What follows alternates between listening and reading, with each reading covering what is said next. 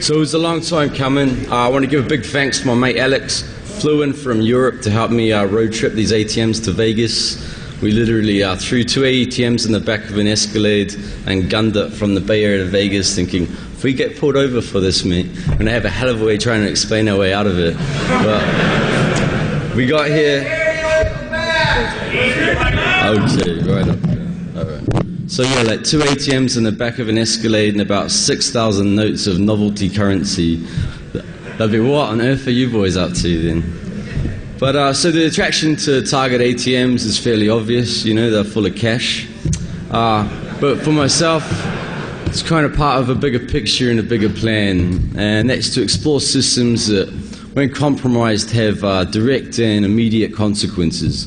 So whether it be uh, ATM machines, medical devices, smart meters, you know, the uh, computer system in your vehicle, uh, particularly because they're not often designed with a secure methodology from the get-go.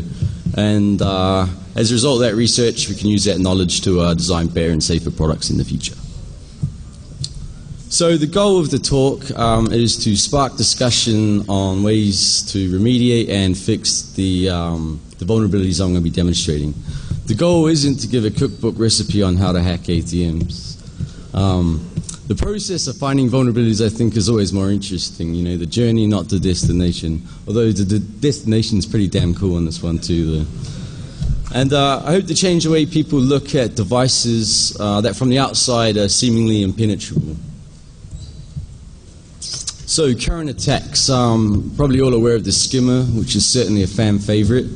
It's a uh, small overlay that slides over the card slot and the pin pad, manufactured to blend seamlessly with the ATM itself, uh, designed to capture both the track data and pin numbers. And the technology on some of these is no joke, too. You know, it will send you the data over GPS, and some even have like tamper protection, so when they're found out, it'll wipe itself out. Interesting. Uh, physical theft and ram raids. You've probably seen those various YouTube videos where a couple of good old boys hurl through the front window of a place, attach uh, chain to the ATM, and the other end to the pickup truck, and just gun it out of there. Not really the most subtle of attacks, of course, but uh, it's kind of ninja status compared to some of the other ones. And card trapping and card snooping, it's where someone inserts a small shim. It's uh, commonly known as the Lebanese loop. Uh, it traps your card, and it's designed such a way that when your card's read, uh, the card won't be returned um, and it's often combined with shoulder surfing to get your pin, but sometimes they'll get your pin in ways which may not be quite as friendly. Safe cutting and frontal attacks, basically going an ATM with a pair of pliers and a blowtorch. And explosives, which are surprisingly popular, which I find a little bit odd. Um, attack is literally tying a bunch of, a bunch of explosives to an ATM and blowing the crap out of it. Now, you would think that would be uh, somewhat counterproductive to what you're trying to accomplish there, and it's big in Australia, so go figure. and data breaches, hacking the bank processor, uh, harvesting the card data and pins. I suppose the best example of that would have been the hack of the uh, RBS WorldPay backend. And certainly the safest, most technically sophisticated attacks I've seen, and I think about 9 million were stolen during that attack. And of course, other, or miscellaneous. So we have uh, the default passcode attack from a couple of years back. That's where if the operator password was left unchanged on the ATM, you could reprogram the ATM to think there was a lower denomination than it really was. So you probably think it was full of $5 notes when it's really giving you $20. And I'll be adding more to the other category, practical attacks, which I think I'll blow that, that little dweeb John Connors attack right out of the water. So I picked standalone ATMs. Um, there's a few, few reasons. One, they're pretty easy to get a hold of. Uh, like anything on the internet, you can jump online and just add to cart, basically. But uh, getting the ATMs delivered to your house, on the other hand, is interesting. So um, I remember when one of the ATM delivery guys came in and he wheeled the ATM into my place, and he just like, "Why on earth do you need an ATM in your house for?" And, and, and I was feeling a bit cheeky that day, so I just looked at him and was like, oh, I just don't like the transaction fees, mate.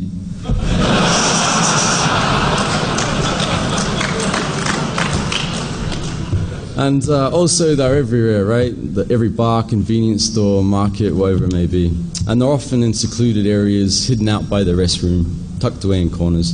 But um, I'm going to discuss attack methods for both standalone and hole in the wall ATMs. I'll go over walk-up style attacks, but then shift focus to the far more important vector, in my opinion, and that's the remote attack. And what an attacker can leverage with a successful remote compromise. And when I mean remote, I mean remote default, because that's the only way to roll, really. So just to show um, how popular these ATMs are, this is literally one block just down the road from my place. Decided I'll just go uh, on a bit of a pub crawl and see what I could find as far as vulnerable ATMs go. Um, literally, yeah, this is half a mile. Um, my favorite is this dude actually who uh, owns a Mexican restaurant. He's a good sport. Notice about a tapatio resting on top of the ATM there. He doesn't, exa- well, he doesn't exactly look chuffed to be in this picture. So the standard specs of a new model retail style ATM are typically Windows CE running an ARM processor. New models support both TCP/IP and dial-up by default. Uh, wireless being CDMA, not 802.11, so no drive, drive-by ATM hacks, unfortunately. Thought it would be cool to, you know, drive by a store and have it spit out its cash. No such luck. Uh, SSL support and the triple DES encrypted pin pads. Basically, the pin pad itself performs all the encryption on the device, has anti-tampering mechanisms, and I'll talk more about that beast a little bit later too. I'm sorry, don't mean be rude. If you could speak up or listen about that. Hold the mic. All right. I'll hold the mic. Is that better? Okay, so here's the ATM internals, uh, receipt printer. Over to the right, you can see the card reader. And there's a serial interface that leads down into the safe, which is actually wired into the dispenser. And there's also various motherboard inputs, multiple USB, SD cards, network, and some debugging ports. Now, there's usually a cover that protects the, the, the circuit board, and I've only removed it just to show the internals. I guarantee that these ATMs are completely stock, completely unmodified, totally untouched. Now, funnily enough, of all the possible ways that an ATM talk could get disrupted, um, it was actually my cat who almost took it down for me. I had like a USB keyboard plugged in, and he was running around chasing a moth or something, and tripped over the USB cord, pulled it out, and pulled out the processor plug in at the same time. But luckily, it was easily soldered back in. But anyway, bad kitty. So, uh, in my opinion, a presentation shouldn't really be a full blown technical tutorial. So, I'm going to be following up later with a white paper that goes into more technical details. But rather than digging deep into the ins and outs of Windows CE internals, I will sum up the, sum up the security hurdles I faced with this quote. We were concerned about protection, but not about security. We weren't trying to design an airtight system like Windows NT. And this was from uh, Thomas Fenwick, the guy who actually created the Windows CE kernel. And I got that from a book that was called Inside Windows CE, which was essentially just a bunch of interviews with the core developers.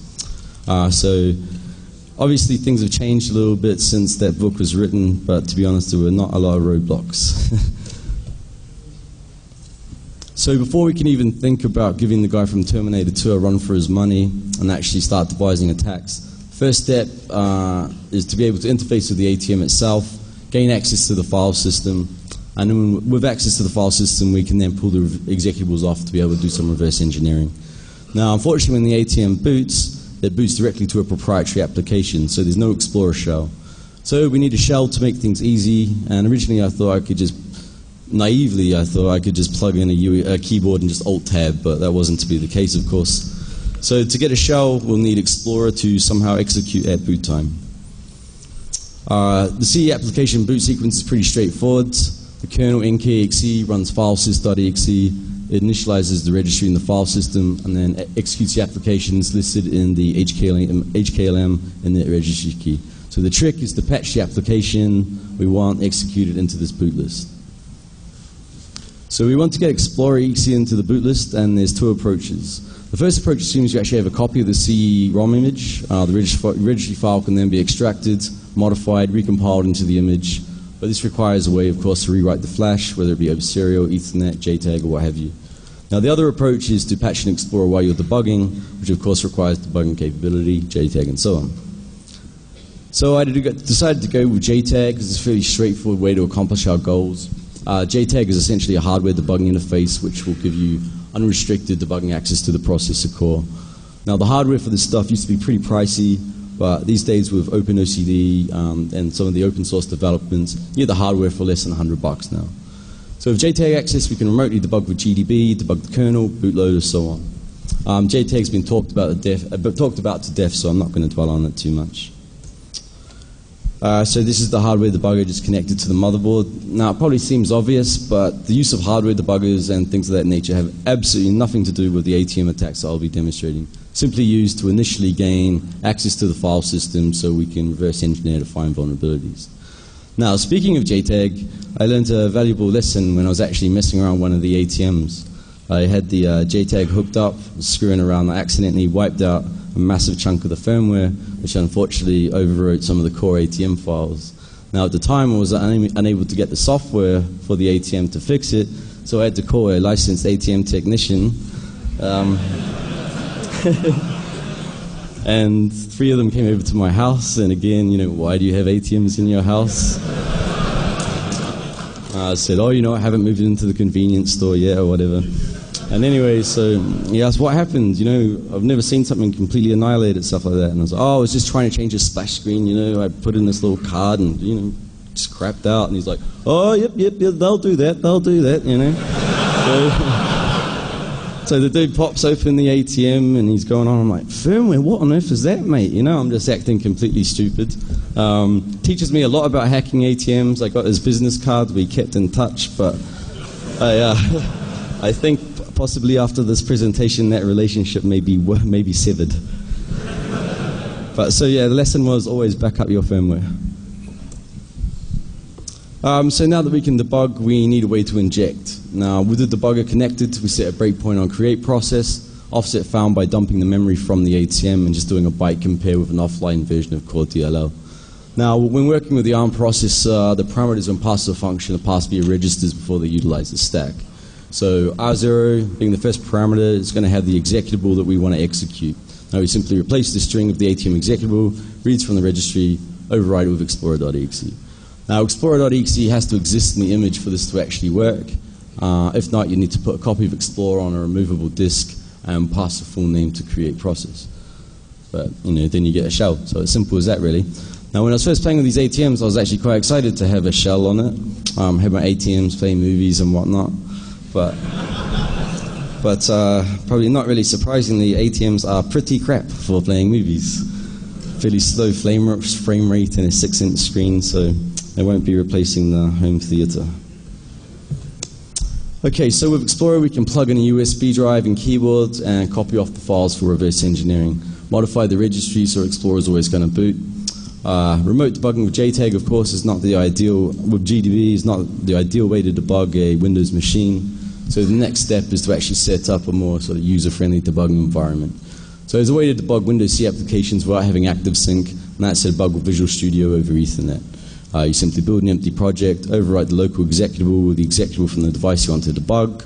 With the TCP settings correct, it will copy a file from the device, run on a debugger, and then you have application debugging in Visual Studio. So now we finally have everything in place to be able to reverse engineer the software to locate the vulnerabilities, but also to test any software we create for the ATM. So finally, we can get to planning an attack. Now, of course, there's a limited attack surface, obviously. Uh, we have the card reader, but assuming we have an overflow or some other string-based attack via the card tracks, uh, an extremely limited amount of characters and a very restricted character set. I mean, I'm not going to say it's not possible, but I'll say it'll be unlikely to be practical or all that reliable. Uh, the keypads, possibly a long shot, but you never know. Maybe, maybe master passwords left in by developers, backdoors, what have you. And then the network, so any open ports, uh, answering phone line, any options for any possible remote attacks. And of course, the various inputs on the motherboard itself, but of course, this requires access to the motherboard itself. Now, of course, progress is never really made without a few failures along the way. And uh, in my attempt to come up with a Terminator 2 esque hack, I made this device. It's uh, basically an electromagnet wired up to an amp, which is connected to a media player. Uh, a WAV file is created to simulate the data on a mag stripe. Electromagnet's plugged into the card slot. You play the WAV, and thinks it was the ATM thinks it's just read a magnetic stripe. Technically, it works fine, but um, it didn't have me for shit for finding vulnerabilities. Okay, so the walk-up attack. The, the goal, of course, is to execute code on the ATM. Now, the, the, cash dispenser is housed at the very least by a safe. Even if you, that's if you take the cheapest option. If you spend more, you can get some he- fairly heavy duty vault-style protections. But the